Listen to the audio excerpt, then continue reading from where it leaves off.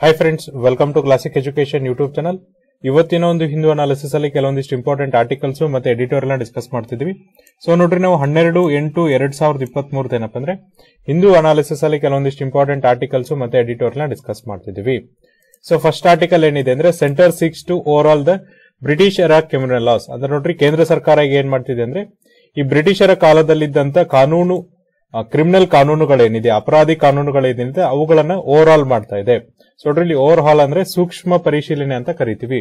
ಇವುಗಳನ್ನ ಈಗ ಏನ್ ಮಾಡ್ತಿದ್ದಾರೆ ಅವರು ಅಂದ್ರೆ ಸೂಕ್ಷ್ಮ ಪರಿಶೀಲನೆಗೆ ಒಳಪಡಿಸಿದ್ದಾರೆ. ಯಾವುದಕ್ಕೆ?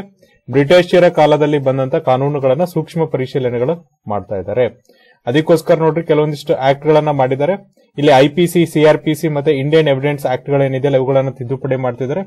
ಜೊತೆಗೆ ನೋಡ್ರಿ ಯಾವ್ದಾದ್ರು ವ್ಯಕ್ತಿ ಮಾಬ್ ಲಿಂಚಿಂಗ್ ಒಳಗಾದ್ರೆ ಅಂತ ಮಾಬ್ ಲಿಂಚಿಂಗ್ ಯಾರು ಮಾಡ್ತಾರೆ? ಅಂದ್ರೆ ಈಗ ನೋಡ್ರಿ, ಸಾಮೂಹಿಕವಾಗಿ ಆ ವ್ಯಕ್ತಿನ ಹೊಡಿತಾರಲ್ಲ? ಈ ಗುಂಪು ಗುಂಪಾಗಿ ಸೇರಿ ವ್ಯಕ್ತಿನ ಹೊಡಿತಾರಲ್ಲ, ಅಂತಲ್ಲಿ ಏನ್ ಮಾಡ್ತಿದ್ರು ಅಂದ್ರೆ ಕ್ಯಾಪಿಟಲ್ ಪನಿಷ್ಮೆಂಟ್ ಅಂದ್ರೆ ಅಲ್ಲಿ ನಿಮ್ಗೆ ಮರಣ ದಂಡನೆಯನ್ನ ವಿಧಿಸ್ತಾ ಹೋಗ್ತಾರೆ. ಜೊತೆಗೆ ನೋಡ್ರಿ, ಈ ಯಾರ್ದಾರ್ದು ಜೊತೆ ಏನಪ್ಪ ಅಂದ್ರೆ, ಯಾವ್ದೋ ಹೆಣ್ಮಗಳ ಜೊತೆ ಏನಂದ್ರೆ, ಈ ಒಂದು ತಪ್ಪು ಮಾಹಿತಿಯನ್ನ ಕೊಟ್ಟು ಲೈಂಗಿಕ ಸಂಪರ್ಕವನ್ನ ಬಳಸಿದ್ರೆ ಅಂತಲ್ಲಿ ಏನ್ ಮಾಡ್ತಾರೆ ಅಂದ್ರೆ ಹತ್ತು ವರ್ಷದವರೆಗೆ ನಿಮಗೆ ಜೈಲು ಶಿಕ್ಷೆಯನ್ನ ವಿಧಿಸ್ತಾರೆ. ಅದ್ರ ಜೊತೆಗೆ ಏನಪ್ಪ ಅಂದ್ರೆ, ಈ ಒಂದು ಸೆಡೇಷನ್ ಏನಿದೆಯಲ್ಲ ಅದನ್ನು ಕೂಡ ಇಲ್ಲಿ ರಿಪೀಲ್ ಅನ್ನ ಮಾಡಿದ್ದಾರೆ. ನೋಡ್ರಿ ಒಟ್ಟು ಮೂರು ತಿದ್ದುಪಡಿಯನ್ನ ಮಾಡ್ತಾ ಇದ್ದಾರೆ. ಯಾವ್ದಾದಕ್ಕಪ್ಪ ಅಂದ್ರೆ Indian penal code Indian evidence act ಮತ್ತೆ code of criminal procedure act ಇಲ್ಲಿ ತಿದ್ದುಪಡಿಯನ್ನ ತರ್ತಾ ಇದ್ದಾರೆ. ಫಸ್ಟ್ ನೋಡ್ರಿ, ಭಾರತೀಯ ನ್ಯಾಯ ಸಂಹಿತಾ ಬಿಲ್ ಏನಿದೆಯಲ್ಲ, ಇದೇನ್ ಮಾಡುತ್ತಪ್ಪ ಅಂದ್ರೆ ಇಂಡಿಯನ್ ಪೀನಲ್ ಕೋಡ್ ಅನ್ನ ರಿಪ್ಲೇಸ್ ಮಾಡುತ್ತೆ. ಇಲ್ಲೇನಾದ್ರೆ ಯಾವ್ದಾದ್ರು ವ್ಯಕ್ತಿ ನೋಡ್ರಿ, ಈ ತರನಾಗಿ ಮಾಬ್ ಲಿಂಚಿಂಗ್ ಒಳಗಾಗಿ ಸತ್ರೆ, ಅಲ್ಲಿ ಯಾರು ಈ ತರನಾಗಿ ಮಾಬ್ ಲಿಂಚಿಂಗ್ ಮಾಡಿರ್ತಾರಲ್ಲ ಅಂತವ್ರಿಗೆ ಏನ್ ಮಾಡ್ತಾರೆ ಅಂದ್ರೆ ಕ್ಯಾಪಿಟಲ್ ಪನಿಷ್ಮೆಂಟ್ ಅನ್ನ ಕೊಡ್ತಾರೆ, ಮರಣ ದಂಡನೆ ವಿಧಿಸ್ತಾರೆ. ಜೊತೆಗೆ ಯಾರಾದ್ರೂ ತಪ್ಪು ಮಾಹಿತಿಯನ್ನು ಕೊಟ್ಟು ಒಬ್ಬರ ಜೊತೆ ಲೈಂಗಿಕ ಸಂಪರ್ಕವನ್ನ ಬಳಸಿದ್ರೆ ಅಂತವ್ರಿಗೆ ಏನ್ ಮಾಡ್ತಾರೆ ಅಂದ್ರೆ ಹತ್ತು ವರ್ಷದವರೆಗೆ ಸೆರೆಮನೆ ವಾಸವನ್ನ ಘೋಷಿಸ್ತಾರೆ. ಜೊತೆಗೆ ನೋಡ್ರಿ, ಒಬ್ಬ ಪತಿ ಪತ್ನಿಯ ಜೊತೆಗೆ ಏನಪ್ಪಾ ಅಂದ್ರೆ ಹದಿನೆಂಟು ವರ್ಷದಕ್ಕಿಂತ ಕಡಿಮೆ ಇದ್ದವ್ರ ಜೊತೆ ಏನಾದ್ರೂ ಲೈಂಗಿಕ ಸಂಪರ್ಕವನ್ನ ಬಳಸಿದ್ರೆ ಅದು ಯಾವುದೇ ತರನಾಗಿ ರೇಪ್ ಆಗಲ್ಲ ಅಂತ ಇಲ್ಲಿ ಹೇಳಿದ್ದಾರೆ. ಅದು ಅತ್ಯಾಚಾರ ಆಗಿಲ್ಲ ಅಂತ ಹೇಳ್ತಿದ್ದಾರೆ. ಜೊತೆಗೆ ನೋಡ್ರಿ, ಇಲ್ಲಿ ಏನ್ ಮಾಡಿದಾರೆ ಅಂದ್ರೆ ಈ ಸೆಡೇಷನ್ ಅನ್ನ ರಿಪೇಲ್ ಮಾಡಿದಾರೆ ಅಂದ್ರೆ ತೆಗೆದು ಹಾಕಿದ್ದಾರೆ. ಫಸ್ಟ್ ಟೈಮ್ ಏನಪ್ಪಾ ಅಂದ್ರೆ ನಮ್ಮಲ್ಲಿ ಟೆರರಿಸಂ ಬಗ್ಗೆ, ಜೊತೆಗೆ ನೋಡ್ರಿ ಅಪರಾಧಗಳಾದಂತಹ ಸಪರೇಟಿಸಂ ಅಂದ್ರೆ ಈಗ ಪ್ರತ್ಯೇಕವಾದ ಏನಿರುತ್ತಲ್ಲ, ಪ್ರತ್ಯೇಕವಾದದ ಬಗ್ಗೆ ಜೊತೆಗೆ ಏನಪ್ಪಾ ಅಂದ್ರೆ, ಸರ್ಕಾರದ ವಿರುದ್ಧ ನೋಡ್ರಿ ಆರ್ಮ್ಡ್ ರೆಬಲ್ಯೂಷನ್ಸ್ ಮಾಡ್ತಾರೆ. ಅಂದ್ರೆ ಈ ಒಂದು ದಂಗೆಯನ್ನ ಹೇಳ್ತಾರೆ. ಎಸ್ಪೆಷಲಿ ಏನಪ್ಪಾ, ಬಂದೂಕುಗಳನ್ನ ದಂಗೆ ಹೇಳ್ತಾರಲ್ಲ, ಅದ್ರ ಬಗ್ಗೆ ಏನ್ ಮಾಡಿದಾರೆ ಅಂದ್ರೆ ಫಸ್ಟ್ ಟೈಮ್ ಏನ್ ಮಾಡಿದಾರೆ ಅಂದ್ರೆ ಕ್ಲಿಯರ್ ಆಗಿ ಡಿಫೈನ್ ಅನ್ನ ಮಾಡಿದ್ದಾರೆ. ಮುಂಚೆ ಏನಾಗಿತ್ತಪ್ಪ ಅಂದ್ರೆ, ಇವುಗಳನ್ನ ಬೇರೆ ಬೇರೆ ಇದರಲ್ಲಿ ಮೆನ್ಷನ್ ಅನ್ನ ಮಾಡಿದ್ರೆ, ಈಗ ಒಂದೇ ಕಾನೂನಿನ ಅಡಿಯಲ್ಲಿ ಇವನ್ನ ಮೆನ್ಷನ್ ಮಾಡಿದ್ದಾರೆ. ಅದೇ ತರ ನೋಡ್ರಿ ಬಿಲ್ ಏನ್ ಮಾಡುತ್ತೆ ಅಂದ್ರೆ ಮುನ್ನೂರ ಹದಿಮೂರು ತಿದ್ದುಪಡಿಗಳನ್ನ ಇಲ್ಲಿ ಘೋಷಿಸ್ತಾ ಇದೆ. ಅಂದ್ರೆ ಮುನ್ನೂರ ಹದಿಮೂರು ತಿದ್ದುಪಡಿಗಳನ್ನ ಮಾಡ್ಬೇಕಂತ ಮಾಡಿದೆ. ಹಾಗಾದ್ರೆ ಏನೇನು ಇಲ್ಲಿ ರಿಪ್ಲೇಸ್ ಮಾಡ್ತಾರೆ ಯಾವ್ದಾವ್ದಕ್ಕಂತ ನೋಡೋದಾದ್ರೆ ನೋಡ್ರಿ. ಫಸ್ಟ್ ಏನಪ್ಪ ಅಂದ್ರೆ, ಭಾರತೀಯ ನ್ಯಾಯ ಸಂಹಿತ ಬಿಲ್ ಏನಿದೆಲ್ಲ ಎರಡ್ ಸಾವಿರದ ಇಪ್ಪತ್ತ್ ಮೂರು ಇದೇನ್ ಮಾಡುತ್ತಂದ್ರೆ ಇಂಡಿಯನ್ ಪೀನಲ್ ಕೋಡ್ ಹದಿನೆಂಟುನೂರ ಅರವತ್ತನ್ನ ರಿಪ್ಲೇಸ್ ಮಾಡಿದ್ರೆ, ಭಾರತೀಯ ನಾಗರಿಕ ಸುರಕ್ಷಾ ಸಂಹಿತ ಎರಡ್ ಸಾವಿರದ ಇಪ್ಪತ್ತ್ ಮೂರು ಇದೆಯಲ್ಲ, ಇದೇನ್ ಮಾಡುತ್ತಪ್ಪ ಅಂದ್ರೆ criminal procedure code criminal procedure act eighteen ninety eight ಏನಿದೆಯಲ್ಲ, ಅದನ್ನ ರಿಪ್ಲೇಸ್ ಮಾಡುತ್ತೆ. ಇದಾದ್ಮೇಲೆ ನೋಡ್ರಿ, ಭಾರತೀಯ ಸಾಕ್ಷ್ಯ ಬಿಲ್ ಏನಿದೆಯಲ್ಲ ಇದೇನ್ ಮಾಡುತ್ತಪ್ಪ ಅಂದ್ರೆ Indian evidence act eighteen seventy two ಅನ್ನ ರಿಪ್ಲೇಸ್ ಮಾಡುತ್ತೆ. ಸೊ ಇದಿಷ್ಟೇನಪ್ಪ ಅಂದ್ರೆ ಈಗಿರುವಂತಹ ಮಾಹಿತಿ. ಮುಂದೆ ಏನಾಗುತ್ತೆ ಅಂದ್ರೆ ಅದ್ರ ಬಗ್ಗೆ ಕ್ಲಿಯರ್ ಆಗಿ ನಮಗೆ ಮಾಹಿತಿ ಸಿಕ್ಕಾಗ ಇನ್ನೂ ಕೂಡ ಹೆಚ್ಚಿನ ಮಾಹಿತಿನ ನಾವು ಡಿಸ್ಕಸ್ ಮಾಡ್ತೀವಿ. ಏನೇನ್ ರಿಫಿಲ್ ಮಾಡ್ತಿದ್ರೆ ಪರ್ಟಿಕ್ಯುಲರ್ಲಿ ಯಾಕೆ ಈ ರಿಫಿಲ್ಗಳು ಬೇಕಾದ್ರು, ಮತ್ತೆ ಇವು ಏನಾಗ್ತಾ ಇದೆ, ಯಾಕೆ ಸರ್ಕಾರ ಈ ತರನಾಗಿ ತಂತ ಅನ್ನೋದನ್ನ ಫರ್ದರ್ ನಾವು ಡಿಸ್ಕಷನ್ ಅನ್ನ ಮಾಡ್ತಾ ಹೋಗೋಣ. ಸೊ ನೋಡ್ರಿ ನೆಕ್ಸ್ಟ್ ಆರ್ಟಿಕಲ್ ಏನಿದೆ ಅಂದ್ರೆ more students using smartphones for entertainment than studies ಅಂದ್ರೆ ಒಂದು ವರದಿ ಪ್ರಕಾರ ಏನಪ್ಪಾ ಅಂದ್ರೆ ಬಹಳಷ್ಟು ವಿದ್ಯಾರ್ಥಿಗಳು ಇಲ್ಲಿ ಏನ್ ಮಾಡ್ತಿದ್ದಾರೆ ಅಂದ್ರೆ ಈ ಮೊಬೈಲ್ ಗಳನ್ನ ಯಾವ್ದಕ್ಕೋಸ್ಕರ ಬಳಸ್ತಾ ಇದಾರಪ್ಪ ಅಂದ್ರೆ ಎಂಟರ್ಟೈನ್ಮೆಂಟ್ ಗೋಸ್ಕರ ಬಳಸ್ತಾ ಇದ್ದಾರೆ. ಸೊ ನೋಡ್ರಿ, ಎಂಟರ್ಟೈನ್ಮೆಂಟ್ ಅಂದ್ರೆ ಇಲ್ಲಿ ನಾವ್ ಏನ್ ಹೇಳ್ಬೋದು ಅಂದ್ರೆ ಮನರಂಜನೆಗೆ ಬಳಸ್ತಾ ಇದ್ರೆ ಬದಲಾಗಿ ಇಲ್ಲಿ ಏನಪ್ಪಾ ಅಂದ್ರೆ ಯಾವುದೇ ತರನಾಗಿ ಅಭ್ಯಾಸ ಸಂಬಂಧ ಬಳಸ್ತಾ ಇಲ್ಲ. ಬದಲಾಗಿ ಅವರು ಮನರಂಜನೆಗೆ ಬಳಸ್ತಾ ಇದ್ದಾರೆ. Education minister Dharmendra Pradhan launches of report based on the response of six thousand two hundred and twenty nine parents of school childrens in rural communities across twenty one states ನೋಡ್ರಿ ಎಜುಕೇಶನ್ ಮಿನಿಸ್ಟರ್ ಶಿಕ್ಷಣ ಮಂತ್ರಿಗಳಾದಂತಹ ಧರ್ಮೇಂದ್ರ ಪ್ರಧಾನ್ ಅವರು ಈ report ಅನ್ನ release ಮಾಡಿದ್ರೆ. ಇದರಲ್ಲಿ ಏನ್ ಮಾಡಿದ್ರು ಅಂದ್ರೆ ಆರ್ ಸಾವಿರದ ಎರಡ್ ನೂರ ಇಪ್ಪತ್ತೊಂಬತ್ತು ಪಾಲಕರ ಏನಿದ್ದಾರೆ ಅಂದ್ರೆ ಹಳ್ಳಿಗಳಲ್ಲಿ ಶಾಲೆಗೆ ಹೋಗುವಂತ ಮಕ್ಕಳ ಪಾಲಕರದ್ದು ಏನ್ ಮಾಡಿದ್ರೆ ಅಂದ್ರೆ ಒಂದು ರಿಪೋರ್ಟ್ ಅನ್ನ ತೆಗೆದುಕೊಂಡಿದ್ದಾರೆ. ಇದು ಕೇವಲ ಒಂದು ರಾಜ್ಯದಿಂದ ಬದಲಿಲ್ಲ, ಬದಲಾಗಿ ಇಪ್ಪತ್ತೊಂದು ರಾಜ್ಯಗಳಿಂದ ಬಂದಿದೆ. ಜೊತೆಗೆ ನೋಡ್ರಿ forty nine point three percentage of the students have to access the gadget but only thirty four percent of that students use them for the studies ಅಂದ್ರೆ ನೋಡ್ರಿ ಅಲ್ಲಿ ನಲವತ್ತೊಂಬತ್ತು ಪಾಯಿಂಟ್ ಮೂರು ಪರ್ಸೆಂಟ್ ಜನರಿಗೆ ಏನಪ್ಪ ಅಂದ್ರೆ ಈ ಗ್ಯಾಜೆಟೆಡ್ಗೆ ಅಂದ್ರೆ ಸ್ಮಾರ್ಟ್ ಫೋನಿಗೆ ಆಕ್ಸೆಸ್ ಇದೆ. ಅದರಲ್ಲಿ ಕೇವಲ ಮೂವತ್ನಾಲ್ಕು ಪರ್ಸೆಂಟ್, ಅಂದ್ರೆ ಈ ನಲವತ್ತೊಂಬತ್ತರಲ್ಲಿ ನೋಡ್ರಿ ಕೇವಲ ಮೂವತ್ನಾಲ್ಕು ಪರ್ಸೆಂಟ್. ಅಂದ್ರೆ ಇಷ್ಟು ಸ್ಟೂಡೆಂಟ್ಸ್ ಅಲ್ಲಿ ಕೇವಲ ಏನಪ್ಪ ಅಂದ್ರೆ ಮೂವತ್ನಾಲ್ಕು ಪರ್ಸೆಂಟ್ ಜನ ಮಾತ್ರ ಅದನ್ನ ಏನ್ ಮಾಡ್ತಾರೆ ಅಂದ್ರೆ ಸ್ಟಡಿಗೆ ಬಳಸ್ತಾರೆ. ಅಂದ್ರೆ ನಲವತ್ತೊಂಬತ್ತು ಪರ್ಸೆಂಟ್ ಅನ್ನು ನೀವು ಹೋಲ್ ಹಂಡ್ರೆಡ್ ಪರ್ಸೆಂಟ್ ಅಂತ ಕನ್ಸಿಡರ್ ಮಾಡಿದಾಗ ಅದರಲ್ಲಿ ಕೇವಲ ಮೂವತ್ನಾಲ್ಕು ಪರ್ಸೆಂಟ್, ಅಂದ್ರೆ ಒನ್ ಥರ್ಡ್ ಮೆಂಬರ್ಸ್ ಮಾತ್ರ ಏನ್ ಮಾಡ್ತಾರೆ ಅಂದ್ರೆ ಅದನ್ನ ಎಜುಕೇಶನ್ ಪರ್ಪಸ್ಗೆ ಮಾತ್ರ ಬಳಸ್ತಾರೆ. ದೇಶಾದ್ಯಂತ ನೋಡ್ರಿ, ಒಂದು ಸರ್ವೆನ ಮಾಡಿರ್ತಾರೆ. ಇಲ್ಲೇನಪ್ಪ ಅಂದ್ರೆ, ಆರ್ ಸಾವಿರದ ಎರಡ್ ನೂರ ಇಪ್ಪತ್ತೊಂಬತ್ತು ಪಾಲಕರದ್ದು ಏನ್ ಮಾಡಿರ್ತಾರೆ ಅಂದ್ರೆ, ಅಭಿಪ್ರಾಯವನ್ನ ಕೇಳಿರ್ತಾರೆ. ಸೊ ನೋಡ್ರಿ ಪಾಲಕರನ್ನ ಏನ್ ಅಭಿಪ್ರಾಯ ಕೇಳಿರ್ತಾರೆ, ಇವ್ರ ಮಕ್ಕಳುಗಳೇನಪ್ಪ ಅಂದ್ರೆ, ಆರರಿಂದ ಹದಿನಾರು ವರ್ಷದ ಮಕ್ಕಳುಗಳಿರ್ತಾರೆ ಇದನ್ನ ಏನ್ ಮಾಡಿರ್ತಾರೆ ಅಂದ್ರೆ, ಇಪ್ಪತ್ತೊಂದು ರಾಜ್ಯದಿಂದ ಈ ಒಂದು ಮಾಹಿತಿಯನ್ನ ಕಲೆಕ್ಟ್ ಮಾಡಿರ್ತಾರೆ. ಸೊ ನೋಡ್ರಿ, ಈ ಒಂದು ರಿಪೋರ್ಟ್ ನಮ್ಗೆ ಏನ್ ಹೇಳುತ್ತೆ ಅಂದ್ರೆ, ಬಹಳಷ್ಟು ಜನ ವಿದ್ಯಾರ್ಥಿಗಳು ಸ್ಮಾರ್ಟ್ ಫೋನ್ಸ್ ಅನ್ನ ಯಾವುದಕ್ಕೋಸ್ಕರ ಬಳಸ್ತಾ ಇದ್ದಾರೆ ಅಂದ್ರೆ ಎಂಟರ್ಟೈನ್ಮೆಂಟ್ ಗೋಸ್ಕರ ಬಳಸ್ತಾ ಇದ್ದಾರೆ. ಮನರಂಜನೆಗೋಸ್ಕರ ಬಳಸ್ತಾ ಇದ್ದಾರೆ. ಬದಲಾಗಿ, ಅಭ್ಯಾಸದ ಬದಲಾಗಿ ಅವ್ರೇನಪ್ಪ ಅಂದ್ರೆ ಮನರಂಜನೆಗೋಸ್ಕರ ಸ್ಮಾರ್ಟ್ ಫೋನ್ಸ್ ಅನ್ನ ಬಳಸ್ತಾ ಇದ್ದಾರೆ. ಸೊ ನೋಡ್ರಿ ಈ ರಿಪೋರ್ಟ್ ಏನಿದೆ? ಈ ರಿಪೋರ್ಟ್ ಏನಂತ ಕರೀತಾರೆ ಅಂದ್ರೆ the state of elementary educations in rural area ಅಥವಾ ನಾವೇನಂತ ಅನ್ಬೋದು ಅಂದ್ರೆ ಸೊ ಈ ವರದಿಯನ್ನು ಏನಂತ ಕರೀತಾರೆ ಅಂದ್ರೆ state of elementary educations in rural India ಅಂದ್ರೆ ನೋಡ್ರಿ, ಹಳ್ಳಿಗಳಲ್ಲಿ ಅಥವಾ ಭಾರತದ ಹಳ್ಳಿಗಳಲ್ಲಿ ಯಾವ ತರನಂತ ಎಲಿಮೆಂಟರಿ ಎಜುಕೇಶನ್ಸ್ ಇದೆ, ಪ್ರಾಥಮಿಕ ಶಿಕ್ಷಣ ಇದೆ ಅಂತೇಳಿ ಈ ಒಂದು ವರದಿಯನ್ನ ಮಾಡಿದ್ದಾರೆ. ಇದನ್ನ ಕೇಂದ್ರದ ಶಿಕ್ಷಣ ಮಂತ್ರಿಗಳಾದಂತ ಧರ್ಮೇಂದ್ರ ಪ್ರಧಾನ್ ಅವರು ರಿಲೀಸ್ ಅನ್ನ ಮಾಡಿದ್ದಾರೆ. ಸೊ ನೋಡ್ರಿ, ಈ ಸರ್ವೆನ ಯಾರು ಕನೆಕ್ಟ್ ಮಾಡಿದಾರಪ್ಪ ಅಂದ್ರೆ ಡಿಪಾರ್ಟ್ಮೆಂಟ್ ಡೆವಲಪ್ಮೆಂಟ್ ಇಂಟೆಲಿಜೆನ್ಸ್ ಯೂನಿಟ್ ಅವರು ಕಂಡಕ್ಟ್ ಮಾಡಿದ್ದಾರೆ. ಸೊ ನೋಡ್ರಿ, ಇವರು ಯಾರ ಜೊತೆಗೆ ಸಹಕಾರವನ್ನ ಕೊಟ್ಟಿದ್ದಾರೆ ಅಂದ್ರೆ transform rural India and Sambodhi research and communication ಇವ್ರ ಜೊತೆಗೆ ಏನಪ್ಪ ಅಂದ್ರೆ ಸಹಕಾರವನ್ನ ಮಾಡಿಕೊಂಡು ಈ ಡೆವಲಪ್ಮೆಂಟ್ ಇಂಟೆಲಿಜೆನ್ಸ್ ಯೂನಿಟ್ ಅವ್ರು ಏನ್ ಮಾಡಿದ್ರು ಅಂದ್ರೆ ವರದಿಯನ್ನ ರಿಲೀಸ್ ಮಾಡಿದ್ದಾರೆ. ಸೊ ನೋಡ್ರಿ, ಈ ವರದಿ ಪ್ರಕಾರ ಏನಪ್ಪ ಅಂದ್ರೆ ಬಹಳಷ್ಟು ಜನ ಮಕ್ಕಳಿಗೆ ಏನ್ ಮಾಡ್ತಿದ್ದಾರೆ ಅಂದ್ರೆ ಮೊಬೈಲ್ಸ್ ಗಳನ್ನ ಎಂಟರ್ಟೈನ್ಮೆಂಟ್ ಪರ್ಪಸ್ ಮಾತ್ರ ಬಳಸ್ತಾ ಇದ್ದಾರೆ. ಕೇವಲ ನೋಡ್ರಿ ಒನ್ ಥರ್ಡ್ ಪರ್ಸನ್ಸ್ ಮಾತ್ರ ಏನ್ ಮಾಡ್ತಿದ್ದಾರೆ ಅಂದ್ರೆ ಅಭ್ಯಾಸಕ್ಕೋಸ್ಕರ ಅಥವಾ ಅಭ್ಯಾಸಕ್ಕೋಸ್ಕರ ಬಳಸಿದ್ರೆ ಇನ್ನುಳಿದಂತ ಟೂ ಥರ್ಡ್ ಮೆಂಬರ್ಸ್ ಏನ್ ಮಾಡ್ತಿದ್ರು ಅಂದ್ರೆ ಎಂಟರ್ಟೈನ್ಮೆಂಟ್ ಪರ್ಪಸ್ಗೋಸ್ಕರ ಮೊಬೈಲ್ ಅನ್ನ ಬಳಸ್ತಿದ್ದಾರೆ. ಈ ಒಂದು ಸರ್ವೆ ಪ್ರಕಾರ ನೋಡ್ರಿ, ನಲವತ್ತೊಂಬತ್ತು ಪಾಯಿಂಟ್ ಮೂರು ಪರ್ಸೆಂಟ್ ವಿದ್ಯಾರ್ಥಿಗಳು ಏನ್ ಮಾಡ್ತಿದ್ರು ಅಂದ್ರೆ ಹಳ್ಳಿಗಳಲ್ಲಿ ಅವರಿಗೆ ಈ ಒಂದು ಸ್ಮಾರ್ಟ್ ಫೋನಿನ ಆಕ್ಸೆಸ್ ಇದೆ. ಜೊತೆಗೆ ನೋಡ್ರಿ, ಈ ಒಂದು ಪಾಲಕರನ್ನ ನಾವು ಕೇಳಿದಾಗ, ಅಂದ್ರೆ ಈ ಪಾಲಕರಿಗೆ ಅದ್ರ ಬಗ್ಗೆ ಒಪಿನಿಯನ್ ಅನ್ನು ಕೇಳಿದಾಗ ನೋಡ್ರಿ, ಅಲ್ಲೇನ್ ಹೇಳ್ತಾರೆ ಅಂದ್ರೆ ಎಪ್ಪತ್ತಾರು ಪರ್ಸೆಂಟ್ ಏಳು ಜನ ಮಕ್ಕಳು ಏನ್ ಮಾಡ್ತಾರೆ ಅಂದ್ರೆ ಮೊಬೈಲ್ ಫೋನ್ಸ್ ಅನ್ನ ಯಾವ್ದಕ್ಕೋಸ್ಕರ ಯೂಸ್ ಮಾಡ್ತಾರಪ್ಪ ಅಂದ್ರೆ ವಿಡಿಯೋ ಗೇಮ್ ಅನ್ನ ಪ್ಲೇ ಮಾಡೋದಕ್ಕೋಸ್ಕರ ಬಳಸ್ತಾರೆ. ಅಂದ್ರೆ ನೋಡ್ರಿ, ಯಾರ ಹತ್ರ ಮೊಬೈಲ್ ಆಕ್ಸೆಸ್ ಇದೆಯಲ್ಲ ಪಾಲಕರ ಹತ್ರ ಅಂತ ಪಾಲಕರ ಮಕ್ಕಳು ಏನ್ ಮಾಡ್ತಿದ್ರು ಅಂದ್ರೆ ಎಸ್ಪೆಷಲಿ ಎಪ್ಪತ್ತಾರು ಪಾಯಿಂಟ್ ಏಳು ಪರ್ಸೆಂಟ್ ಮಕ್ಕಳು ಏನ್ ಮಾಡ್ತಿದ್ರು ಅಂದ್ರೆ ಮೊಬೈಲ್ ಅನ್ನ ಯಾವ ಪರ್ಪಸ್ಗೋಸ್ಕರ ಬಳಸ್ತಿದ್ರು ಅಂದ್ರೆ ವಿಡಿಯೋ ಗೇಮ್ ಪ್ಲೇ ಮಾಡೋದಕ್ಕೆ ಬಳಸ್ತಿದ್ದಾರೆ.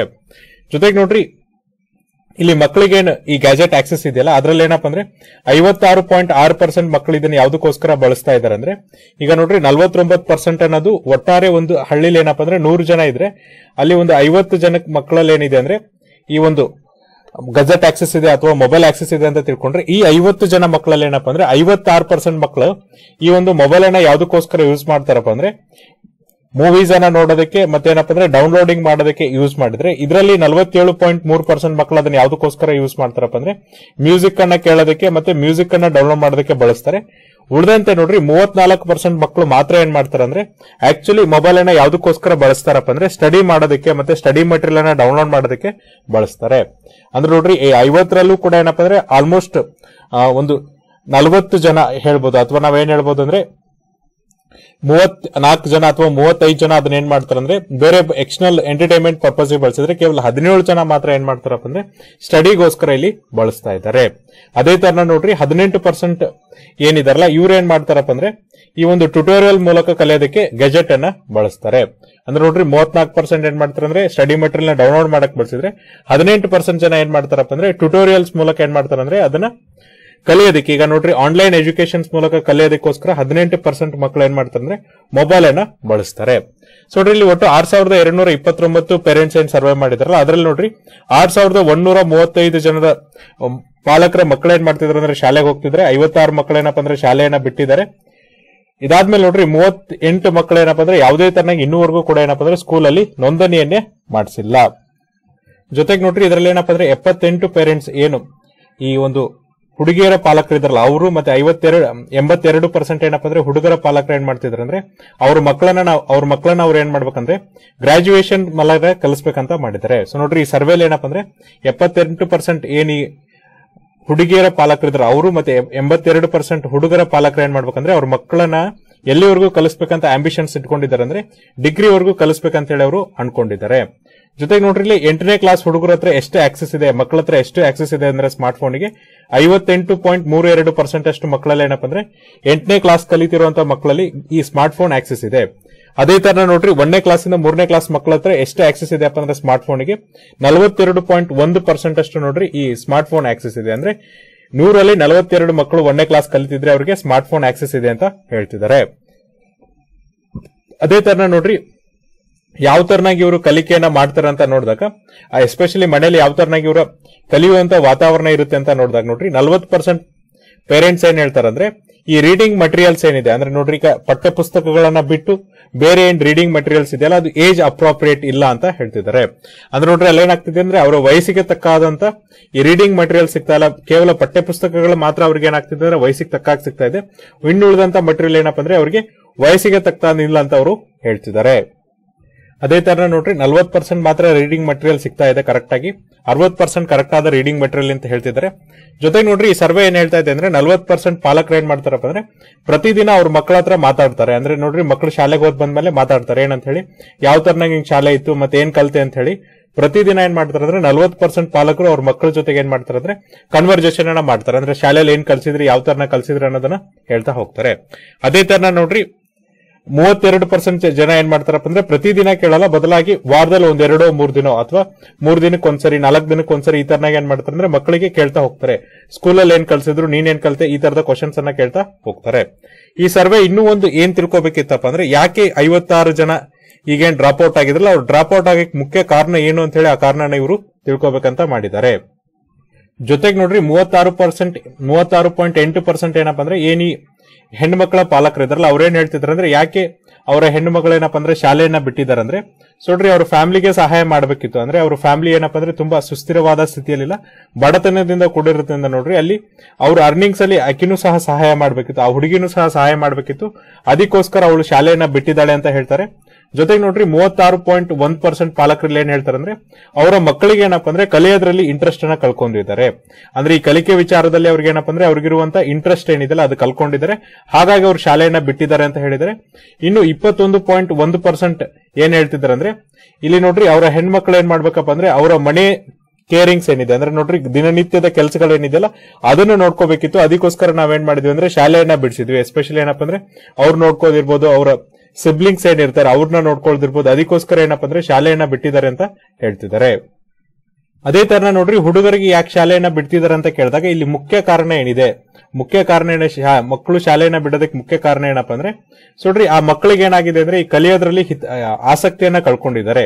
ಈ ಹುಡುಗರಲ್ಲಿ ಏನಪ್ಪ ಅಂದ್ರೆ ಕಲಿಯೋ ಆಸಕ್ತಿ ಹೋಗಿರೋದ್ರಿಂದ ಅವರು ಶಾಲೆಯನ್ನ ಬಿಡ್ತಿದ್ದಾರೆ ಅಂತ ಹೇಳಿದ್ದಾರೆ. ಜೊತೆಗೆ ನೋಡ್ರಿ, ಎಪ್ಪತ್ತೊಂದು ಪಾಯಿಂಟ್ ಎಂಟು ಪರ್ಸೆಂಟೇಜ್ ಏನ್ ರೆಸ್ಪಾಂಡೆಂಟ್ಸ್ ಇದಾರಲ್ಲ ಅವ್ರು ಏನ್ ಹೇಳಿದಾರೆ ಅಂದ್ರೆ ಈ ಕಾರಣವನ್ನ ಹೇಳಿದಾಗ, ಇನ್ನು ನಲವತ್ತೆಂಟು ಪಾಯಿಂಟ್ ಏಳು ಜನ ರೆಸ್ಪಾಂಡೆಂಟ್ಸ್ ಏನ್ ಹೇಳ್ತಾರೆ ಅಂದ್ರೆ, ಹುಡುಗರು ಸಹ ಏನಪ್ಪ ಅಂದ್ರೆ ಅವರ ಫ್ಯಾಮಿಲಿ ಅರ್ನಿಂಗ್ಸ್ ಅಲ್ಲಿ ಸಹಾಯ ಮಾಡಬೇಕಾಗಿರೋದ್ರಿಂದ ಅವ್ರು ಏನಪ್ಪ ಅಂದ್ರೆ ಈ ಒಂದು ಶಾಲೆಯನ್ನ ಬಿಟ್ಟಿದ್ದಾರೆ ಅಂತ ಹೇಳ್ತಿದ್ದಾರೆ. ಅದೇ ತರ ನೋಡ್ರಿ, ಈಗ ಪಾಲಕರು ಯಾವ ತರನಾಗಿ ಭಾಗವಹಿಸ್ತಾರೆ? ಎಸ್ಪೆಷಲಿ ಏನಪ್ಪ ಅಂದ್ರೆ ಈ ವರದಿ ರಿವೀಲ್ ಮಾಡಿದೆ. ಪಾಲಕರು ಟೀಚರ್ ಪೇರೆಂಟ್ ಟೀಚರ್ಸ್ ಮೀಟಿಂಗ್ ಇದ್ದಾಗ ಯಾವ ತರನಾಗಿ ಭಾಗವಹಿಸ್ತಾರೆ ಅಂದ್ರೆ ನೋಡ್ರಿ ಎಂಬತ್ತು ನಾಲ್ಕು ಪರ್ಸೆಂಟ್ ಪೇರೆಂಟ್ಸ್ ಏನ್ ಮಾಡ್ತಾರಪ್ಪ ಅಂದ್ರೆ ರೆಗ್ಯುಲರ್ ಆಗಿ ಅಟೆಂಡ್ ಅನ್ನ ಮಾಡ್ತಾರೆ. ಪೇರೆಂಟ್ ಟೀಚರ್ಸ್ ಮೀಟಿಂಗ್ ಅನ್ನ ಅವರು ರೆಗ್ಯುಲರ್ ಆಗಿ ಅಟೆಂಡ್ ಅನ್ನ ಮಾಡಿದ್ರೆ, ಇನ್ನು ಹದಿನಾರು ಪರ್ಸೆಂಟ್ ಅವರು ಏನಪ್ಪ ಅಂದ್ರೆ ರೆಗ್ಯುಲರ್ ಆಗಿ ಮೀಟಿಂಗ್ ಮಾಡಲ್ಲ. ಅಂದ್ರೆ ಪಾಲಕರು, ಶಿಕ್ಷಕರ ಭೇಟಿಯನ್ನು ಅವರು ಮಾಡೋದಿಲ್ಲ. ಇದಕ್ಕೆ ಎರಡು ಮುಖ್ಯ ಕಾರಣ ಏನಪ್ಪ ಅಂದ್ರೆ ಯಾಕೆ ಅವರು ಈ ತರನಾಗಿ ಪಾಲಕರನ್ನ ಭೇಟಿ ಆಗ್ತಾ ಇಲ್ಲ. ಅಂದ್ರೆ ಒಂದು ನೋಡ್ರಿ ಅವರಿಗೆ ಶಾರ್ಟ್ ನೋಟಿಸ್ ಇದೆ. ಅಂದ್ರೆ ನೋಟಿಸ್ ಅನ್ನ ಕರೆಕ್ಟ್ ಆಗಿ ಕೊಟ್ಟಿಲ್ಲ.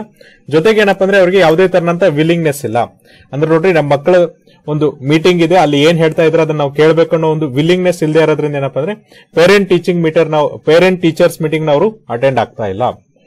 ಸೊ ನೋಡ್ರಿ ಅದೇ ತರನಾಗಿ ನಮ್ಮ ನೆಕ್ಸ್ಟ್ ಎಡಿಟೋರಿಯಲ್ ಏನಿದೆ ಅಂದ್ರೆ what is the data protection bill twenty twenty three so D DPDP bill ಅಂತ ಕರಿತೀವಲ್ಲ ಅದೇನಿತ್ತು ಅಂತ ನಾವು ನೋಡೋಣ. How is the digital data protection bill twenty twenty three is different from its previous iterations ಅಂದ್ರೆ DPDP bill ಏನಿದೆ? Digital personal data protections bill ಹಿಂದಿಗಿರುವಂತ data protection ಗಿಂತ ಯಾವ ತರನಾಗಿ ಡಿಫ್ರೆಂಟ್ ಇದೆ? What are the domains where it has made advances and ones where it is lacking ಅಂದ್ರೆ ನೋಡ್ರಿ, ಯಾವ್ಯಾವ ಭಾಗದಲ್ಲಿ ಅದೇನಪ್ಪ ಅಂದ್ರೆ ಅಡ್ವಾನ್ಸ್ ಆಗ್ತಾ ಹೋಗಿದೆ, ಮತ್ತೆ ಯಾವ್ಯಾವ ಭಾಗದಲ್ಲಿ ಅದು ಹಿಂದುಳಿದಿದೆ ಅನ್ನೋದ್ರ ಬಗ್ಗೆ ನಾವಿಲ್ಲಿ ಡಿಸ್ಕಸ್ ಮಾಡ್ತಿದೀವಿ ನಮ್ಮ ದೇಶದಲ್ಲಿ ನೋಡ್ರಿ ಈ ಡಾಟಾ ಪ್ರೊಡಕ್ಷನ್ ಮಾಡುವಂತ ಲೆಜಿಸ್ಲೇಷನ್ ಏನಿದೆಯಲ್ಲ, ಅದು ಅವಾಗಿಂದ ಸ್ಟಾರ್ಟ್ ಆಗಿದೆ ಅಂದ್ರೆ ಎರಡ್ ಸಾವಿರದ ಹದಿನೇಳರಿಂದ ಸ್ಟಾರ್ಟ್ ಆಗಿದೆ. ಸೊ ನೋಡ್ರಿ, ಎರಡ್ ಸಾವಿರದ ಹದಿನೇಳರಲ್ಲಿ ಏನಪ್ಪ ಅಂದ್ರೆ K S Puttaswamy versus union of India judgment ಅಲ್ಲಿ ಏನ್ ಮಾಡ್ತಾರೆ ಅಂದ್ರೆ ಸುಪ್ರೀಂ ಕೋರ್ಟ್ನ ಐದು ಜಡ್ಜಸ್ ಏನ್ ಹೇಳ್ತಾರೆ ಅಂದ್ರೆ ನೋಡ್ರಿ, ಯಾವುದೇ ತರನಾಗಿ ವಿರೋಧ ಇಲ್ಲದೆ right to privacy is a fundamental right ಅಂತ ಹೇಳಿ ಅವ್ರು ಜಡ್ಜ್ಮೆಂಟ್ ಅನ್ನ ಕೊಡ್ತಾರೆ.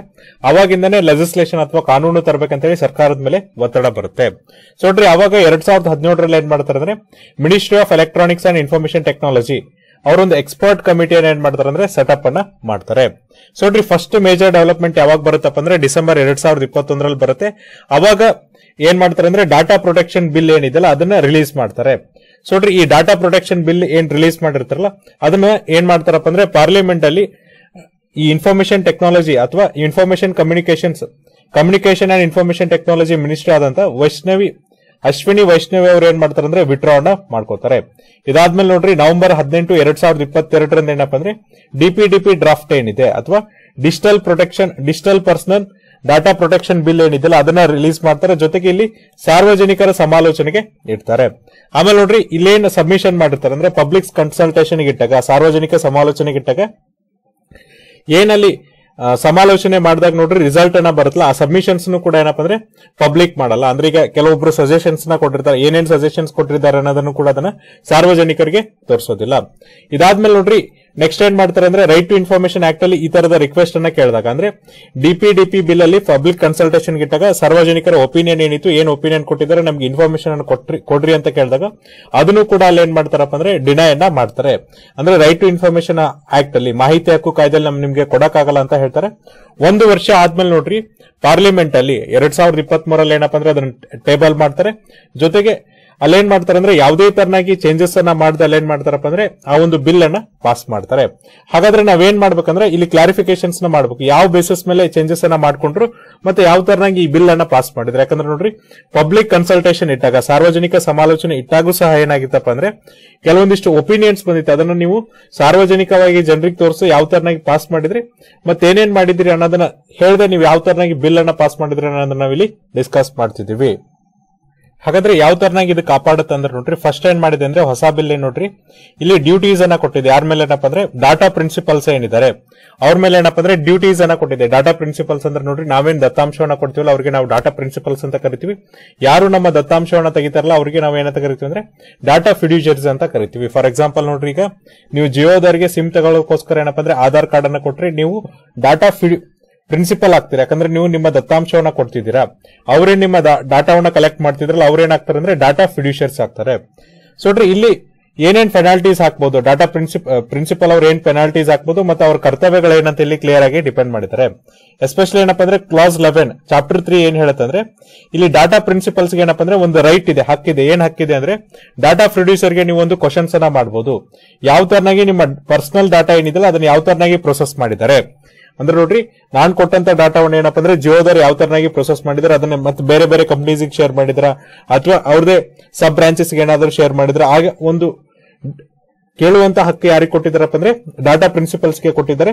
ಜೊತೆಗೆ ನೋಡ್ರಿ, ನೀವು ಯಾರ್ಯಾರ ಡಾಟಾ ಪ್ರೊಡ್ಯೂಸರ್ ಜೊತೆಗೆ, ಅಂದ್ರೆ ಜಿಯೋ ಬಿಟ್ಟು ಏರ್ಟೆಲ್ ಅವರು ಶೇರ್ ಮಾಡಿದ್ರ ವೋಡಾಫೋನಿಕ್ ಶೇರ್ ಮಾಡಿದ್ರ, ಅದನ್ನು ಸಹ ನಾವು ಇಲ್ಲಿ ಕೇಳಬಹುದಾಗಿದೆ ಇಲ್ಲಿ ಕೆಲವೊಂದು ಕಡೆ ಏನ್ ಮಾಡಿದ್ರೆ ಅಂದ್ರೆ ಎಕ್ಸೆಪ್ಷನ್ ಅನ್ನ ಕೊಟ್ಟಿದ್ರೆ ಫಾರ್ ಎಕ್ಸಾಂಪಲ್ ನೋಡ್ರಿ ನ್ಯಾಷನಲ್ ಸೆಕ್ಯೂರಿಟಿ ಇಶ್ಯೂ ಬಂದಾಗ ಏನಪ್ಪ ಅಂದ್ರೆ ಅಲ್ಲಿ ಎಕ್ಸೆಪ್ಷನ್ ಇರುತ್ತೆ.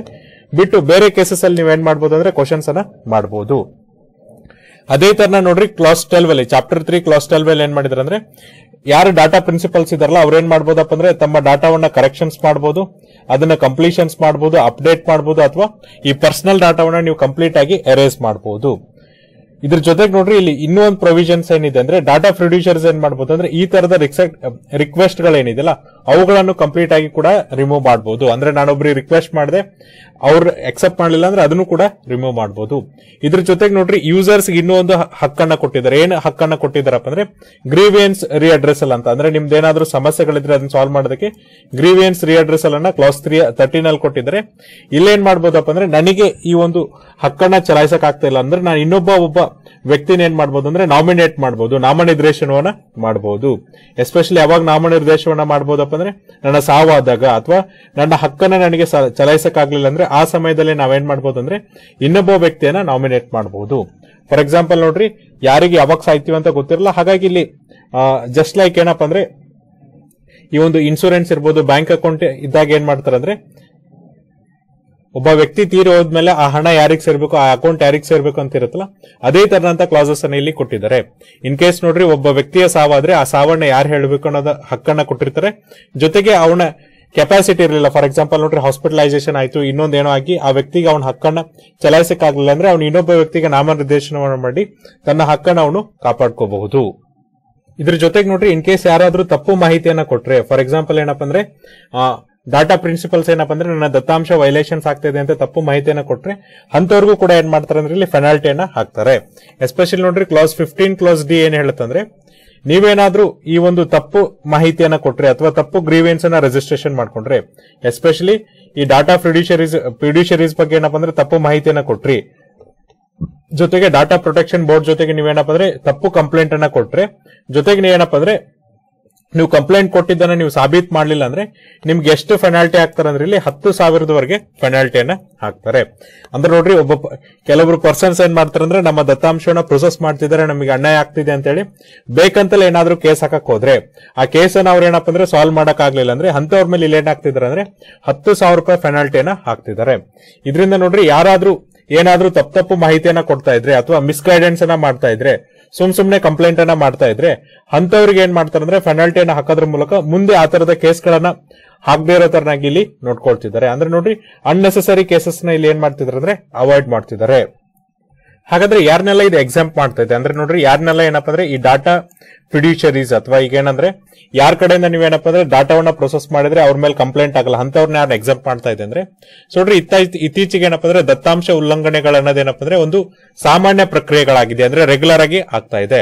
ಸೊ ಜೂನ್ ಎರಡ್ ಸಾವಿರದ ಇಪ್ಪತ್ತ್ ಮೂರಲ್ಲಿ ಏನಾಗಿತ್ತು ಅಂದ್ರೆ ಕೋವಿನ್ ಪೋರ್ಟಲ್ ಅನ್ನ ಏನ್ ಮಾಡಿದ್ರಪ್ಪ ಅಂದ್ರೆ ಹ್ಯಾಕ್ ಮಾಡಿದ್ರು. ಜೊತೆಗೆ ನೋಡ್ರಿ, ಅಲ್ಲೇನು ವ್ಯಾಕ್ಸಿನೇಟೆಡ್ ಮಾಡ್ಕೊಂಡಿದ್ರಲ್ಲ, ಅಂದ್ರೆ ಯಾರೆಲ್ಲ ವ್ಯಾಕ್ಸಿನ್ ಅನ್ನ ತೆಗೆದುಕೊಂಡಿದ್ರಲ್ಲ ಅಂತ ಅಭ್ಯರ್ಥಿಗಳ ಅಥವಾ ಅಂತ ವ್ಯಕ್ತಿಗಳ ಏನಪ್ಪ ಅಂದ್ರೆ ಪರ್ಸನಲ್ ಡಾಟಾವನ್ನ ಏನ್ ಮಾಡಿದ್ರು ಅಂದ್ರೆ ಟೆಲಿಗ್ರಾಮ್ ಅಲ್ಲಿ ಲೀಕ್ ಮಾಡಿದ್ರು. ಅದೇ ತರ ನೋಡ್ರಿ, ಇತ್ತೀಚೆಗೆ ಜುಲೈ ಎರಡ್ ಸಾವಿರದ ಇಪ್ಪತ್ತ್ ಮೂರಲ್ಲಿ ಏನಪ್ಪ ಅಂದ್ರೆ, ಹನ್ನೆರಡು ಸಾವಿರ State Bank of India employees ಏನಿದ್ದಾರೆ. ಎಸ್ ಬಿ ಐ ಏನ್ ಎಂಪ್ಲಾಯೀಸ್ ಇದಾರಲ್ಲ ಅಂತವ್ರದ್ದು ಏನ್ ಮಾಡಿದ್ರಪ್ಪ ಅಂದ್ರೆ ಪರ್ಸನಲ್ ಡಾಟಾವನ್ನ ಅಥವಾ ಪರ್ಸನಲ್ ವಿಷಯವನ್ನ ಏನ್ ಮಾಡಿದ್ರು ಅಂದ್ರೆ ಟೆಲಿಗ್ರಾಮ್ ಅಲ್ಲಿ ಲೀಕ್ ಮಾಡಿದ್ರು. ಈ ಒಂದು ವಿವನ್ನ ಇಟ್ಕೊಂಡು ಈಗ ಏನ್ ಮಾಡ್ತಿದ್ರು ಅಂದ್ರೆ, ಒಂದು ಹೊಸ ಕ್ಲಾಸ್ ಅನ್ನ ತಗೊಂಡ್ಬಂದಿದ್ದಾರೆ. ಸೊ ನೋಡ್ರಿ seventeen clause two clause A ಪ್ರಕಾರ ಏನಪ್ಪ ಅಂದ್ರೆ, ಇಲ್ಲಿ ಯಾರಿಗೆಲ್ಲ ಎಕ್ಸಾಮ್ಷನ್ ಕೊಡ್ತಾ ಇದಾರೆ ಅಂದ್ರೆ, ಸರ್ಕಾರ ಮಾತ್ರ ಇದರ, ಇತರೆ ಅಥಾರಿಟೀಸ್ ಇರ್ತವೆ. ಅಂದ್ರೆ ಸರ್ಕಾರದ ಕೆಳಗಡೆ ಕೆಲಸ ಮಾಡುವಂತ ಅಥಾರಿಟೀಸ್ ಮಾತ್ರ ಏನಪ್ಪ ಅಂದ್ರೆ ಗ್ರಾಂಟ್ ಅನ್ನ ಕೊಡ್ತಾ ಇದಾರೆ ಅಥವಾ ಎಕ್ಸಾಮ್ಷನ್ ಅನ್ನ ಕೊಡ್ತಾ ಇದ್ದಾರೆ. ದತ್ತಾಂಶ ಉಲ್ಲಂಘನೆಗೆ ಏನಪ್ಪ ಅಂದ್ರೆ ಎಕ್ಸಾಮ್ಷನ್ ಅನ್ನ ಕೊಡ್ತಾ ಇದ್ದಾರೆ. ಈ ಎಕ್ಸಾಮ್ಷನ್ ಅನ್ನು ಕೂಡ ನೋಡ್ರಿ, ಕೇವಲ ಏನಪ್ಪ ಅಂದ್ರೆ ಐದು ಗ್ರೌಂಡ್ಸ್ಗಳ ಮೇಲೆ ಕೊಡ್ತಾ ಇದ್ದಾರೆ. ಅದು ಸರ್ಕಾರದ ಅಥಾರಿಟೀಸ್ ಕೊಡ್ತಾ ಇದ್ದಾರೆ. ಸೊ ನೋಡ್ರಿ, ಅವುಗಳನ್ನ ಆಲ್ರೆಡಿ ನೋಟಿಫೈ ಮಾಡಿದ್ದಾರೆ. ಇದ್ರ ಜೊತೆಗೆ ಏನಪ್ಪ ಅಂದ್ರೆ ಪರ್ಸನಲ್ ಡಾಟಾವನ್ನು ಏನಪ್ಪ ಅಂದ್ರೆ ನಾವು ಸಂಶೋಧನೆಗೆ ಬಳಸ್ತಾ ಇದ್ರೆ ಅಥವಾ ಆರ್ಚಿವಿಂಗ್ ಬಳಸ್ತಾ ಇದ್ರೆ ಅಥವಾ ಸ್ಟಾಟಿಸ್ಟಿಕಲ್ ಪರ್ಪಸ್ಗೋಸ್ಕರ ಬಳಸ್ತಾ ಇದ್ರೆ. ಫಾರ್ ಎಕ್ಸಾಂಪಲ್ ನೋಡ್ರಿ, ಈ ನ್ಯಾಷನಲ್ ಫ್ಯಾಮಿಲಿ ಹೆಲ್ತ್ ಸರ್ವೆ ಇದು ಲೇಬರ್ ಸರ್ವೆ ಇರ್ಬೋದು. ಈ ತರನಾದಂತಹ ಸರ್ವೆಗಳಿಗೆ ಏನಾದ್ರು ಪೀರಿಯಾಡಿಕ್ ಲೇಬರ್ ಫೋರ್ಸ್ ಸರ್ವೆ ಇರ್ಬೋದು. ಈ ತರದ ಸರ್ವೆಗಳಿಗೆ ಬಳಸ್ತಾ ಇದ್ರೆ ಇಲ್ಲಿ ನಿಮಗೆ ಎಕ್ಸಾಮ್ಷನ್ ಅನ್ನ ಕೊಡ್ತಾ ಹೋಗ್ತಾರೆ. ಇದನ್ನೇನಪ್ಪ ಅಂದ್ರೆ clause seventeen clause two clause B ಅಲ್ಲಿ ಹೇಳಿದ್ದಾರೆ. ಸೊ ನೋಡ್ರಿ ಹಿಂದೆ ಇರುವಂತ ಇಟರೇಷನ್ಸ್ ಅಲ್ಲೂ ಕೂಡ ಏನಪ್ಪ ಅಂದ್ರೆ ಇದನ್ನ ಎಕ್ಸಾಮ್ಸ್ ಕೊಟ್ಟಿದ್ರು, ಈಗ ಏನೇ ಮಾಡಿದೆ ಅಂದ್ರೆ ಅದನ್ನ ಬ್ರಾಡನ್ ಮಾಡಿದೆ. ಸೊ ನೋಡ್ರಿ ಎಸ್ಪೆಷಲಿ ಏನಪ್ಪ ಅಂದ್ರೆ ಯಾವ ಸರ್ಕಾರಗಳು ಯೂನಿಯನ್ ಗವರ್ಮೆಂಟ್ ಇನ್ಫಾರ್ಮ್ ಮಾಡಿ, ಈ ಇನ್ಫಾರ್ಮೇಶನ್ ಅನ್ನ ಪ್ರೊಸೆಸಿಂಗ್ ಮಾಡ್ತಿರತ್ತಲ್ಲ, ಅವುಗಳನ್ನ ಏನ್ ಮಾಡಿದ್ರೆ ಅಂದ್ರೆ ಎಕ್ಸ್ಕ್ಲೂಸಿವ್ ಆಗಿ ಇಲ್ಲಿ ಎಕ್ಸಾಮ್ಟ್ ಅನ್ನ ಮಾಡಿದ್ದಾರೆ. ಫಾರ್ ಎಕ್ಸಾಂಪಲ್ ನೋಡ್ರಿ, ಒಂದು ರಾಜ್ಯ ಸರ್ಕಾರ ಏನಪ್ಪ ಅಂದ್ರೆ ಈ ತರ ನಾ ಡಾಟಾ ಪ್ರೊಸೆಸಿಂಗ್ ಮಾಡ್ತಾ ಇದ್ದೀನಿ. ನನಗೆ ಈ ಮಾಹಿತಿ ಬೇಕಂತ ಹೇಳಿ ಕೇಂದ್ರ ಸರ್ಕಾರಕ್ಕೆ ಏನಾದ್ರು ಇನ್ಫಾರ್ಮೇಶನ್ಸ್ನ ಕೊಟ್ರೆ, ಅವುಗಳನ್ನು ಕೂಡ ಇಲ್ಲಿ ಎಕ್ಸಾಮ್ಸ್ ಮಾಡ್ತಾ ಇದ್ದಾರೆ. ಹಾಗಾದ್ರೆ ಏನೇನ್ ತಿದ್ದುಪಡಿಗಳನ್ನ ಮಾಡ್ತಾ ಇದಾರೆ ಅಂದ್ರೆ ನೋಡ್ರಿ, ಇಲ್ಲಿ ಚೇಂಜಸ್ ಮಾಡ್ತಾ ಇರೋ ಸಿಗ್ನಿಫಿಕೆಂಟ್ ಎಲ್ಲಿ ಕಾಣ್ತಾ ಇದೆ ಅಂದ್ರೆ ಕ್ಲಾಸ್ ಫೋರ್ಟಿ ಫೋರ್ ಅಲ್ಲಿ ಕಾಣ್ತಾ ಇದೆ. ಸೊ ನೋಡ್ರಿ section forty three A information technology act ಪ್ರಕಾರ ಅಥವಾ ಐ ಟಿ ಆಕ್ಟ್ ಎರಡ್ ಸಾವಿರ ಪ್ರಕಾರ ನೋಡ್ರಿ ಇಲ್ಲೇನ್ ಮಾಡ್ತಾರೆ ಅಂದ್ರೆ ಯಾವ್ದಾದ್ರು ಕಾರ್ಪೊರೇಟ್ ಏನಾದ್ರೂ ಡ್ಯಾಮೇಜ್ ಅನ್ನ ಮಾಡಿದ್ರೆ ಅವ್ರ ಮೇಲೆ ಆಬ್ಲಿಗೇಷನ್ಸ್ ಇರುತ್ತೆ. ಅಂತ ಪರ್ಸನ್ಸ್ ಅಂದ್ರೆ ನೀವು ಯಾವ ವ್ಯಕ್ತಿಯ ಡಾಟಾವನ್ನ ಬಳಸಿರ್ತಾರಲ್ಲ, ಅಂತ ವ್ಯಕ್ತಿ ಡ್ಯಾಮೇಜ್ ಅನ್ನ ಏನಾದ್ರೂ ಮಾಡಿದ್ರೆ ಅವನಿಗೆ ನೀವೇನ್ ಮಾಡ್ಬೇಕಪ್ಪ ಅಂದ್ರೆ ಕಾಂಪನ್ಸೇಷನ್ ಅನ್ನ ಕೊಡಬೇಕು. ಪರಿಹಾರಗಳನ್ನ ಕೊಡಬೇಕು. ಎಸ್ಪೆಷಲಿ ಆ ತರದ ಸೆನ್ಸಿಟಿವ್ ಡಾಟಾವನ್ನ ನೀವು ರಿಲಿ ಮಿಸ್ಯೂಸ್ ಮಾಡಿದಾಗ ನೀವೇನಪ್ಪ ಅಂದ್ರೆ ಪರಿಹಾರಗಳನ್ನ ಕೊಡಬೇಕು ಅಂತ ಹೇಳಿದ್ರು. ಆದ್ರೆ section clause forty four, clause two ಏನಿದೆಲ್ಲ ಇವ್ರೇನ್ ಮಾಡ್ತಾ ಇದ್ರೆ ಅಂದ್ರೆ ಈ ಅಪ್ಲಿಕೇಶನ್ಸ್ನ ಕಂಪ್ಲೀಟ್ ಆಗಿ ಎಕ್ಸ್ಕ್ಲೂಡ್ ಮಾಡ್ತಾ ಇದೆ. ಅಂದ್ರೆ ಇನ್ಫಾರ್ಮೇಶನ್ ಟೆಕ್ನಾಲಜಿ ಏನ್ ಹೇಳಿದ್ರಲ್ಲ, ಅದನ್ನ ಕಂಪ್ಲೀಟ್ ಆಗಿ ಇಲ್ಲಿ ತೆಗೆದು ಹಾಕ್ತಾ ಇದ್ದಾರೆ. ಇದರಿಂದ ನೋಡ್ರಿ ಯಾವ ವ್ಯಕ್ತಿ ಏನ್ ಒಂದು ಪರ್ಸನಲ್ ಡಾಟಾ ಬ್ರೀಚ್ ಆಗಿರುತ್ತಲ್ಲ, ಅವನಿಗೆ ಯಾವುದೇ ತರನಂತ ಇಲ್ಲಿ ರಿಲೀಫ್ ಸಿಗ್ತಾ ಇಲ್ಲ. ಯಾಕಂದ್ರೆ ಮುಂಚೆ ಏನಾಕಿತ್ತಪ್ಪ ಅಂದ್ರೆ ಏನಾದ್ರೂ ಆದ್ರೆ I T act section forty three A ಒಳಗಡೆ ಏನಾಕಿತ್ತಂದ್ರೆ ಅವನಿಗೆ ಕೆಲವೊಂದಿಷ್ಟು ಶಿಕ್ಷೆ ಹಾಕಿತ್ತು ಜೊತೆಗೆ ಆ ವ್ಯಕ್ತಿಗೆ ಕಾಂಪನ್ಸೇಷನ್ ಅನ್ನ ಕೊಡ್ತಾ ಇದ್ರು. ಈಗ ಆ ಒಂದು ಕಾಂಪನ್ಸೇಷನ್ ಕೊಡುವಂತದನ್ನು ಕೂಡ ತೆಗೆದು ಹಾಕಿದ್ದಾರೆ ಅದೇ ತರ ನೋಡ್ರಿ, ಇನ್ನೊಂದು ತಿದ್ದುಪಡಿಯನ್ನು ಎಲ್ಲಿ ಮಾಡಿದಾರೆ ಅಂದ್ರೆ clause forty four clause three ಒಳಗಡೆ ಫೋರ್ಟಿ ಫೋರ್ ಕ್ಲಾಸ್ ತ್ರೀ ಒಳಗಡೆ ಏನಪ್ಪಾ ಅಂದ್ರೆ ಇನ್ನೊಂದು ತಿದ್ದುಪಡಿಯನ್ನು ಮಾಡಿದರೆ, ಇಲ್ಲಿ entire right to information act ಏನಿದಿಲ್ಲ ಆ ಸೆಕ್ಷನ್ ಅನ್ನ ಇಲ್ಲಿ ತಿದ್ದುಪಡಿಯನ್ನ ಮಾಡ್ತಾ ಇದ್ದಾರೆ. ಸೊ ನೋಡ್ರಿ ಇಲ್ಲೇನ್ ರಿಪ್ಲೇಸ್ ಮಾಡ್ತಿದಾರೆ ಅಂದ್ರೆ ಈ ಇನ್ಫಾರ್ಮೇಶನ್ಸ್ ಏನಿದೆ ರೈಟ್ ಟು ಇನ್ಫಾರ್ಮೇಶನ್ಸ್ ಆಕ್ಟ್ ಅಲ್ಲಿ ಏನು ಕೆಲವೊಂದಿಷ್ಟು information public information officer hold ಮಾಡ್ಬೇಕಿತ್ತಲ್ಲ? ಅವುಗಳನ್ನ ಏನ್ ಮಾಡಿದ್ರಪ್ಪ ಅಂದ್ರೆ ನ್ಯಾರೋ ಮಾಡಿದ್ರು. ಅಂದ್ರೆ ಎಷ್ಟು ಹೋಲ್ಡ್ ಮಾಡ್ಬೇಕಿತ್ತು?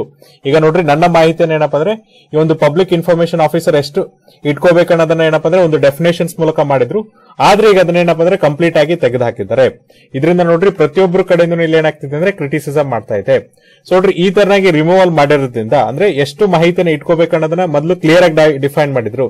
ಯಾರ್ಯಾರು ಮಾಹಿತಿ ಇಟ್ಕೋಬೇಕು, ಎಷ್ಟು ಮಾಹಿತಿ ಇಟ್ಕೋಬೇಕು ಅನ್ನೋದನ್ನ ಕ್ಲಿಯರ್ ಆಗಿ ಡಿಫೈನ್ ಮಾಡಿದ್ರಲ್ಲ, ಈಗ ಅದನ್ನ ತೆಗೆದು ಹಾಕಿದ್ರಿಂದ ನೋಡ್ರಿ ಸಾರ್ವಜನಿಕರ ಆಕ್ರೋಶಕ್ಕೆ ಕಾರಣವಾಗಿದೆ.